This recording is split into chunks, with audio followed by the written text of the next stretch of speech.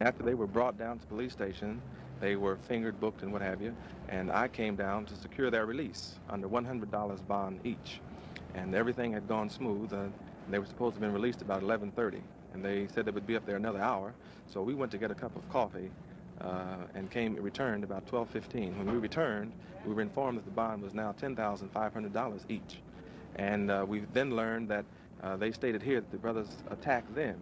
But uh, upon talking with the brothers, we found that they had been viciously set upon and attacked and beaten by the police department here. And uh, then they were then sent to the hospital, greatest hospital, and, and, and being brought back, they were beat again uh, viciously and inhumanly, kicked about the body, kicked in the ribs, and uh, beaten about the head uh, in the elevator up to the top floor and back. Then they were put into their individual cells.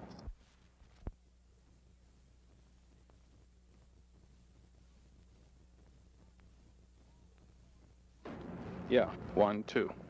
Yeah, we're okay. Okay, Gene. Mr. Shah, what happened here last night?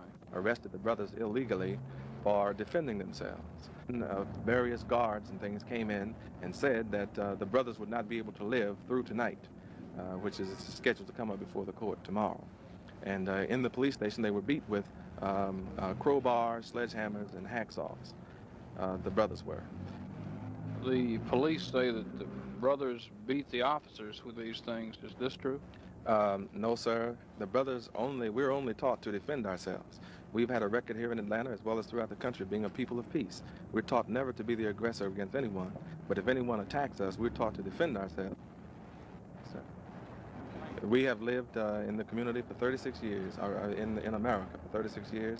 And we've never gone around attacking people. We believe in peace, and uh, but this is another one of those incidents. Yes, sir. Hold it, Dean. And gentlemen, if you'll hold it, this, is this uh, complaints that have been made? Uh, Yeah, just a minute. Let me,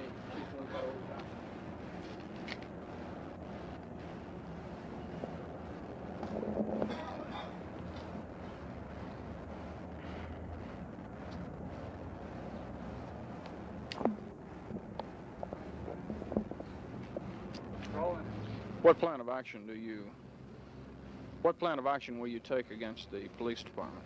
Well, we have formed a, a, a form, lodged a formal complaint with the FBI department and also the Department of Justice, Washington, D.C. And uh, we expect to be in court with our attorneys. We are legally represented by an attorney. Now I need to get some. Don't nod mine.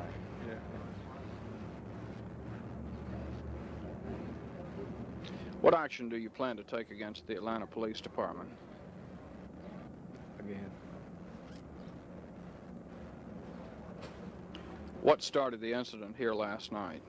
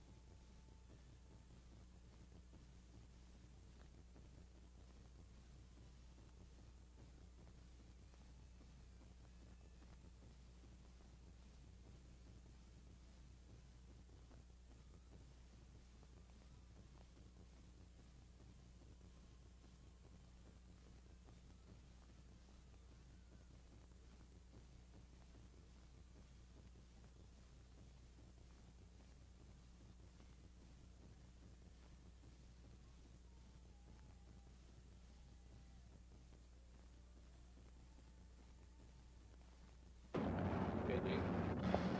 Roll. To your knowledge, has Stokely Carmichael ever participated in the sales of the Muslim newspaper? uh, in as much as he is a subscriber, a reader, I'm sure that he circulates it among his friends.